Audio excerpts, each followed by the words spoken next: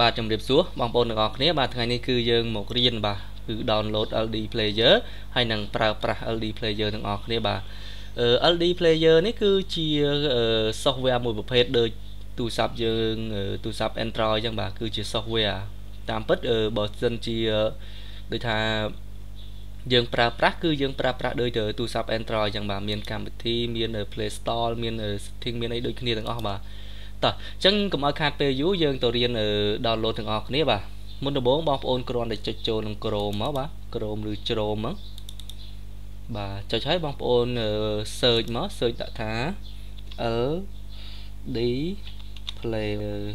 y e r បាទហើយបងប្អូនចុច enter មកបាទឬក៏ចុច search មកបាទនេះគឺនៅខាងលើគេនេះបាទ LD player ស្អីនេះបាទ ចុចវាមកបាទបងប្អូនចុចមកបាទនេះវានឹងចេញបែបនេះអញ្ចឹងបងប្អូនឃើញកន្លែង download នេះទេបាទនេះបើបងប្អូនចង់បាន download LD player 5នេះបណ្ណា5នេះអឺខ្ញុំណែនាំឲ្យបងប្អូនប្រើ A9 នេះមកបាទ9នេះគេអាប់ដេតហើយអញ្ចឹងណាបាទអញ្ចឹងបងប្អូនចុចលើវាមក download ហ្នឹងមកបាទនេះគឺប៊ីតុង download នេះបាទគឺយើងចុច download មកវានឹង download ឲ្យយើងហើយបាទបន្តមកទៀតបាទបងប្អូន download ពេញហើយបងប្អូនចេញមកបាទ ចេញមកបាទបងប្អូនទៅមើលកន្លែងនេះបាទកន្លែងនេះ PC នេះបាទវាមកនៅចូលនៅកន្លែង download នេះបាទនេះបាទហើយវាមាន file បាទ file នេះដោយសារខ្ញុំអត់ download ទេគឺជា file ចាស់របស់ខ្ញុំទេអញ្ចឹងបងប្អូនគ្រាន់តែចុចអឺ click វាលើ2មកវានឹងចេញពាក្យ install នេះបាទចុចមកយើងចុច install មកបាទហើយបងប្អូនចាំឲ្យវាដើរពេញអញ្ចឹងណាបាទហើយយើងចុច finish ចុចតាមគេណែនាំហ្នឹងទៅបាទ តើ install ពេញគឺយើងនឹងបាន early player វាបើកឲ្យ auto តែម្ដងបាទបាទប៉ុន្តែខ្ញុំអត់ install វាមួយសារទៀតទេបាទអញ្ចឹងខ្ញុំចុចខ្វែងវាបាទ close បាទតោះអញ្ចឹងយើងទៅមើលពីរបៀបប្រើប្រាស់ទាំងអស់គ្នាបាទគឺបងប្អូនបើកមុនដំបូងវាអត់ចេញតម្រងបែបនេះទេដល់តែយើងរៀបរៀបចំទៅវាចេញតម្រងបែបនេះបាទមុនដំបូងបាទអឺមុននឹងចូលដល់តម្រងបែបនេះខ្ញុំណែនាំបងប្អូនទាំងអស់គ្នាសិនបាទពេលបងប្អូននៅ install មកវានឹងចេញបាទកម្មវិធី2នេះបាទ បាទគឺ LD player ទាំងអស់ទេបាទនេះគឺជាកម្មវិធីបើកទៅចេញអានេះតែម្ដងហើយណាមួយនេះគឺជាសម្រាប់ clone ចេញច្រើនឲ្យយើងបើកបានច្រើនអញ្ចឹងណាបាទអញ្ចឹងមុនដំបូងបងប្អូនចុចលើអានេះក៏បានចុចលើអានេះក៏បានដែរបាទបើចុចលើអានេះយើងចុចមកបាទវានឹងចេញបែបនេះបាទប៉ុន្តែបើចុចលើអានេះវានឹងបើកឲ្យយើងជាទម្រង់បែបនេះបាទអញ្ចឹងខ្ញុំធ្វើការបើកឲ្យបងប្អូនមើលបាទជំមើខ្ញុំចុចខ្វែងសិន បាទអញ្ចឹងបើចុចអានេះតែម្ដងឬក៏បងប្អូនចុចអា start នេះក៏បានដែរ start នេះគឺវានឹងចេញដូចអាមិញដូចគ្នាឬក៏ចុចអានេះក៏បានដែរបាទវានឹងចេញដែរបាទនេះចេញតម្រងនេះប៉ិនបងប្អូនបើកមុនដំបូងបាទបើកមុនដំបូងគឺវាអត់ចេញបញ្ឈរចេះទេវាចេញជាដេកបាទបែបកុំព្យូទ័រអញ្ចឹងណាបាទតោះអញ្ចឹងយើងទៅរៀនទាំងអស់គ្នាបាទអញ្ចឹងបើកមុនដំបូងនេះបងប្អូនបើកមុនដំបូងវានឹងចេញបែបនេះខ្ញុំនឹងធ្វើការឲ្យបងប្អូនមើលបាទបាទសូមចាំមក plate សិនបាទ បាទអញ្ចឹងខ្ញុំបិទអាកម្មវិធីចាស់របស់ខ្ញុំនេះបាទបាទយើងបើកអាថ្មីបើកមុនដំបូងបងប្អូនចុចទៅវានឹងចេញបែបនេះបាទចុចអាមួយណាក៏ឃើញចេញបែបនេះដូចគ្នាដែរចុចអានេះក៏ចេញអញ្ចឹងចុចអានេះហើយបើក start ទៅក៏ចេញអញ្ចឹងដែរបងប្អូនទាំងអស់គ្នាបាទបាទវាចេញមកហើយបាទបាទនេះវាចេញមកមកហើយអញ្ចឹងយើងអឺចាប់ដើមរៀបចំវាបាទ កុំតន់គិតលើកម្មវិធីអីផ្សេងផ្សេងយើងរៀបចំលើ setting វាសិនបាទហើយ setting នេះគឺបងប្អូនចូលកន្លែងនេះក៏បាននេះចូលកន្លែងនេះក៏បានឬក៏បាទចូលក្នុងអាសនេះក៏បានដែរបាទចូលក្នុងនេះក៏បានដែរនេះប៉ុន្តែយើងបើកចឹងហើយគឺយើងចូលកើតទេប៉ុន្តែបើសិនជាយើងចុច close មកអានេះនឹងបិទយើងអាចសេរីបានបាទយើងចុចឡើងនេះដូចនេះចឹងណាបាទចុចទៅវាចេញបែបនេះដូចគ្នាបាទឬក៏យើងបើកចេះហើយយើងចេញខាងលើនេះយើងចុចកន្លែងនេះដូចគ្នាទេបាទ បាទចេញនឹងមកបងប្អូនគ្រាន់តែចុចលើ mobile នេះបាទ mobile mode នេះហើយបងប្អូនជ្រើសរើសបាទបាទនេះគឺជ្រើសរើសយកមួយណាក៏បានដែរបើខ្ញុំដាក់តែប៉ុណ្នេះទេព្រោះអីកុំកុំព្យូទ័រខ្ញុំមានខ្សោយដែរបាទអានេះគឺយើងទុកតាម recommend របស់គេហ្នឹងទៅបាទនេះក៏ដូចគ្នាដែរបាទហើយមួយទៀតបងប្អូនកលេចមកមើលខាងនេះបាទគឺកំណត់ model ទូរស័ព្ទបាទទូរស័ព្ទបងប្អូនចង់កំណត់ដាក់គេបាទ នេះគឺ mode ច្រើនណាបាទគឺនេះ Samsung អញ្ចឹងបាទហើយនេះគឺ model វា model វាហើយនេះគឺបងប្អូនអាចកំណត់បាននេះបាទនេះគឺ Samsung Galaxy អីបងប្អូនដាក់អីក៏បានដែរបាទនេះគឺបងប្អូនចង់ដាក់អីក៏បានដែរបាទនេះគឺយើងដូរអាលើនេះគឺនេះដូរកន្លែងនេះបាទម៉ាកអីគេបងប្អូនចង់ដាក់ម៉ាកអីគេក៏បានដែរបងប្អូនមើលតាមហ្នឹងទៅមើលមានច្រើនណាបាទគឺ Vivo Oppo បាទច្រើនមែនទែនបាទ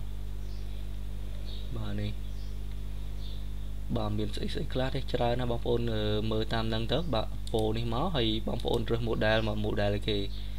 Samsung នេះ model Samsung បើបងប្អូនដាក់ខាងនេះវានឹងដូរខាងនេះណាបាទប៉ុន្តែដាក់នេះគឺវាដូរគ្នាបាទអញ្ចឹងបងប្អូនចង់ដាក់អីក៏ដាក់ទៅធ្វើម៉េចមួយកំណត់ដាក់ model ផ្សេងផ្សេងគ្នាអញ្ចឹងណាបាទហើយកន្លែងនេះបងប្អូនចង់វាយអា iMe នេះក៏បានឬក៏បងប្អូនចុចនេះ ចុចអានេះក៏បានដែរបាទចុចនេះទៅវានឹងដូរលេខបាទខុសៗគ្នាទាំងអស់ហើយបាទហើយបងប្អូនបន្តមកទៀតបងប្អូនគ្រាន់តែចុច save មកបាទហើយដាក់ restart now មកបាទចុចខាងនេះមកបាទវានឹងធ្វើការ restart ណាបាទ restart ចេញជាតម្រងឈរបែបនេះវិញតែម្ដងបាទមិញគឺតម្រងដេកលើតម្រងឈរវិញបាទអត់ពិបាកទេបងប្អូនហើយស្រួលបាទការប្រើប្រាស់កម្មវិធីនេះបាទបន្តមកទៀតបងប្អូនចង់ download បាទ download កម្មវិធីផ្សេងផ្សេង បងប្អូនគ្រាន់តែចុចលើនេះមកហើយចុចក្នុងនេះបាទគឺ Play Store អញ្ចឹងណាបាទ Play Store ហើយបងប្អូន sign in មកបាទនិយាយរួមដូចតែ Android ដូចគ្នាបាទដើម្បី download កម្មវិធីបាទអញ្ចឹងណាហើយនេះគឺបងប្អូនបំពេញ email មកបំពេញ email ហើយគឺបងប្អូនអាច download បានហើយអញ្ចឹងខ្ញុំបំពេញ email ខ្ញុំបានហើយខ្ញុំធ្វើការបិទទេបាទបាទកន្លែងនេះគឺបងប្អូនត្រូវចេះមិនបាក់ទេកន្លែងគឺយើងប្រើទូរស័ព្ទ Android យើងចេះទាំងអស់គ្នាបាទ ចឹងចុច access មកបាទគឺវានឹងបើកហើយបាទនេះបន្តមកទៀតគឺយើងអាច search រកអីក៏បានដែរ search មកឧទាហរណ៍ Facebook បាទវាយ Facebook មកបាទនេះវាចេញឲ្យហើយ Facebook បាទដល់កន្លែងនេះគឺបងប្អូនអឺប្រើប្រាស់ដូចជា Android យើងអញ្ចឹងបាទគឺពួកអឺប្រព័ន្ធ Android អញ្ចឹងដូចទៅទូរស័ព្ទយើងដូចគ្នាបាទចុច install មកបងមុនវាដើរលឿនជាងទូរស័ព្ទតិចអានេះព្រោះអី វាកុងទ័រចឹងយើងដើរលឿនបាទហើយប៉ុណ្ណឹងអត់មានអីពិបាកទេបាទគឺរបៀបប្រើប្រាស់វាមានតែប៉ុណ្្នឹងឯងគឺអត់ពិបាកទេបាទហើយយើងចង់បើកមួយទៀតចឹងណាបាទនេះចង់បើកមួយទៀតបាទយើងបើកទុកខាងនេះសិនមកបាទអីយ៉ាបាទ អញ្ចឹងអឺតោះយើងទៅរៀន clone LD player ទាំងអស់គ្នាមានថារៀនធ្វើ clone ហ្នឹងបាទអញ្ចឹងបងប្អូនចង់ clone លើអាពីនេះបងប្អូនចង់ clone មួយណាបាទចង់ clone យកអានេះឬក៏អានេះយកមក clone បាទ clone ហ្នឹងវាមាន2បាទ clone ទី1 new new ហ្នឹងមានន័យថា clone LE player ថ្មីតែម្ដងបាទអត់មានអីដូចអាមុនដំបូងអញ្ចឹងបាទនេះគឺអានេះអញ្ចឹងហើយចេញជាតម្រងដេកដូចគ្នាដល់យើងកំណត់ដូចគ្នាបាទ ប៉ុន្តែបើយើង clone យកអាចាស់នេះបាទ clone បាន បាទគឺយើង clone ពីអានេះទៅ បានដូចគ្នាបាទតោះអញ្ចឹងយើងទៅរៀនទាំងអស់គ្នាបើសិនជាបងប្អូនចង់ clone new តែម្ដងបងប្អូនចុចអានេះមកហើយដាក់នេះបាទនេះគឺ color នេះបាទដាក់លើនេះមកចុចមកបាទយើងចង់ clone ប៉ុន្មានបាទនេះគឺយើង clone 2យើងដាក់2មកបាទ1ដាក់1មកបាទបើយើង2យើងដាក់2មកហើយយើងចុចបាទបាទហើយយើងចុច confirm មកបាទនេះចុចកន្លែងនេះមក វានឹង clone ឲ្យនេះបាទគឺនេះ clone ឲ្យហើយលឿនបាទគឺលឿនបាទហើយវានឹងចេញលើលេខឲ្យនេះ LD player បាទបើនេះបងប្អូនចូលមើលវានឹងចេញតម្រងថ្មី បាទអត់មានដូចអាចាស់នេះទេដល់យើងកំណត់សារថ្មីដូចគ្នាណាបាទចេញថ្មីជាទម្រង់ផ្ដេកចឹងដូចគ្នាបាទផ្ដេកនេះបាទនេះគឺថ្មីតែម្ដងបាទគឺអត់មានអីទេ ដល់យើងចូលកន្លែងនេះចង់ download អីយើងចូលមកហើយអឺ download ក៏វាឲ្យវាយអឺនេះបាទវាយគឺវាយនេះសាញសាញ in ដោយសារថ្មីទាំងអស់យល់សារថ្មីទាំងអស់ហ្មងបាទតោះអញ្ចឹងអឺកន្លែងចំណុចនេះគឺប្រហែលជាបងប្អូនយល់ហើយបាទអញ្ចឹងខ្ញុំធ្វើការបិទវិញបាទប៉ុន្តែបើយើងចង់ clone ឧទាហរណ៍ clone ដូចយើង download កម្មវិធីគ្រប់ហើយ បាទគ្រប់ទាំងអស់នេះហើយបាទគឺគ្រប់ចឹងហើយបាទអញ្ចឹងបងប្អូនចង់ clone កន្លែងហ្នឹងបាទ clone មួយនឹងទៀតណា clone មួយនឹងដើម្បីឲ្យអាផ្សេងហ្នឹងអាទៅក្រោមក្រោម clone ទៅក្រោមក្រោមហ្នឹងគឺបើកមកគឺចេញតម្រងបែបហ្នឹងតែម្ដងបាទបងប្អូនបាទបងប្អូនគ្រាន់តែមើលលើនេះមកបាទហើយមុននឹង clone បងប្អូនត្រូវបិទអានេះសិនបាទបិទអានេះសិនបាទបិទអានេះហើយទើបយើង clone បានអញ្ចឹងណាបាទអញ្ចឹងយើងចង់ clone ផ្ទាំងនេះអញ្ចឹងអាដូចផ្ទាំងនេះទាំងអស់អញ្ចឹងបងប្អូនគ្រាន់តែមើលកលេសនេះបាទផ្ទាំងហ្នឹងគឺនៅលើគេបាទប៉ុន្តែមុននឹង clone បានបងប្អូនត្រូវបិទវាសិនបាទ ចុចខ្វែងកន្លែងនេះក៏បានឬក៏យើងចុច close កន្លែងនេះក៏បានបាទចុច close មកបាទគឺនេះបិទហើយបាទតោះមកទៀតបងប្អូនចុច tick លើនឹងមកបាទហើយចុចអឺកន្លែងក្រោមនេះបាទកន្លែងក្រោមនេះបាទខ្ញុំអត់សូវចេះអានអង់គ្លេសទេបាទអញ្ចឹងធ្វើការចំណាំទាំងអស់គ្នាបាទបន្តមកទៀតបងប្អូនចុចអានេះអាក្រោមនេះបាទហើយបងប្អូនចុចលេខម៉ានចង់ខ្លួន2ឧទាហរណ៍ខ្លួន2បាទហើយយើងចុច clone មកបាទនេះ វាពងដើរអញ្ចឹងបងប្អូនបើចង់ខ្លួន10គឺ10បើចង់ខ្លួន20គឺ20យើងស្វែងលេខ20មកប៉ុន្តែអឺខ្លួនច្រើនពេកយើងវាកុំព្យូទ័រយើងមុំមុំអីពិបាកដែរវាហឹងដូចថាវាតឹងដែរអញ្ចឹងណាបាទបាទនេះគឺដោយសារតែយើងដោនកម្មវិធីច្រើនអញ្ចឹងវាដើរយូរអញ្ចឹងណាបាទនេះខ្ញុំធ្វើការមិញខ្ញុំធ្វើការកាត់ទេដោយសារតែវាដើរយូរពេកបាទអញ្ចឹងមិញយើងក្លូនពី2ឥឡូវវាដើរអានពេញមួយវាចាប់ដើមលោតមួយទៀតអញ្ចឹងណា បាទបន្តមកទៀតបាទនេះឲ្យវាដើរតាមធម្មតាវាទៅយើងមកបើកអាយើង clone មិញបាទ LD player 2នេះបាទយើង clone 2មិញ2ណាអានេះមួយអានេះមួយបាទអានេះគឺអាខ្ញុំធ្វើបង្ហាញបងប្អូនអាមុនទេបាទយើងបើកអានេះមកបាទជំរឿវាដូចអាលើដែរអត់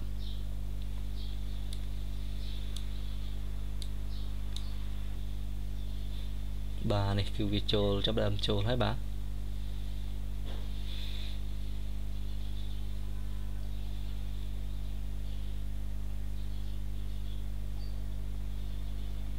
បាទនេះគឺវាមានអឺ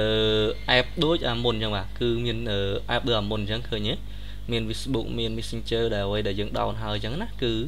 វាបានមកទាំងអស់បាទហើយមួយទៀតបងប្អូនទាំងអស់គ្នាបាទខ្ញុំភ្លេចប្រាប់គឺកន្លែងនេះគឺកន្លែងដូរឈ្មោះបងប្អូនបាទបងប្អូនបើអត់ចង់ដាក់ LD player នឹងទេបងប្អូនអាចដូរឈ្មោះបានឧទាហរណ៍បងប្អូនចង់ដូរឈ្មោះគេបងប្អូនចង់ដូរ Facebook ឬក៏ខ្ញុំដាក់ចុច app ចុច B អញ្ចឹងណាបាទអញ្ចឹងក៏បានដូចគ្នាដែរបាទ បាទនេះយើងដាក់បានដូចគ្នាដឹងដាក់លេខសម្គាល់ឬក៏ឈ្មោះសម្គាល់ឯបានទាំងអស់បាទបាទហានេះមិញហ្នឹងយើងចូល setting មកគឺ clone មួយយើងចូលមួយបាទសំខាន់គឺ model នេះបាទគឺបងប្អូនអាចរើសបាននេះរើសស្អីគេក៏បានដែរបាទនេះគឺរើសហ្នឹងមកហើយចុច random នេះមកបាទហើយយើងចុច save បាទ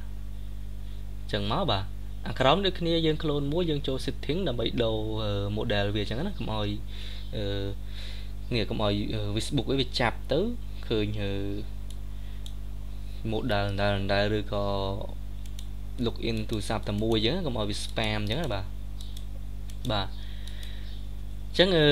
វីដេអូរបៀប download និងប្រើប្រាស់ LD player នេះគឺមានតែប៉ុណ្្នឹងឯងបាទហើយបើមានកន្លែងណាធ្វើបានឬមានចម្ងល់អីអាច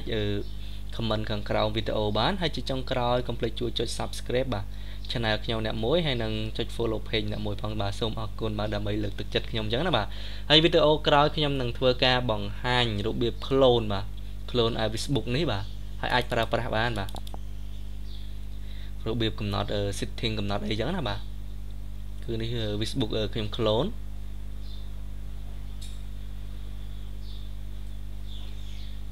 បាទរកចាំបន្តិចបាទ ហើយ clone នេះវាមិនប្រើទៅស្រួលដូចកម្មវិធីដើមហ្មងទេបាទពេលខ្លះវាអាចបើកចេញពេលខ្លះវាអាចបើកទៅវា load ចេញវិញអញ្ចឹងណាបាទហ្នឹងវាមានបាទនេះគឺយើងបើកទៅវាយឺតជាងកម្មវិធីដើមដូចគ្នាតែយើងអាច log in ចូលបានប្រើប្រាស់បានអញ្ចឹងណាសម្រាប់ share សម្រាប់វាបានអញ្ចឹងណាបាទបាទហើយមានតែប៉ុណ្្នឹងទេបាទសូមអរគុណសូមជម្រាបលាទាំងអស់គ្នាសុខសប្បាយទាំងអស់គ្នាបាទ